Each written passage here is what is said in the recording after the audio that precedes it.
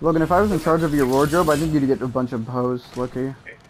Hey Lex, would you prefer What's to your be plan? called? Hose. What makes you say that? Because I would dress you nice. You'd You be would. dripping from head to toe. What kind of drip? and shut 'em down. You'd have the opium drip. What does that mean? You, you don't know opium? There's no light ammo left for you. Right, you, you'd have the Destroy Lonely looks could kill drip. We're already What inside the language are you next ring. speaking? They're If looks could kill. Baby on the fashion demon.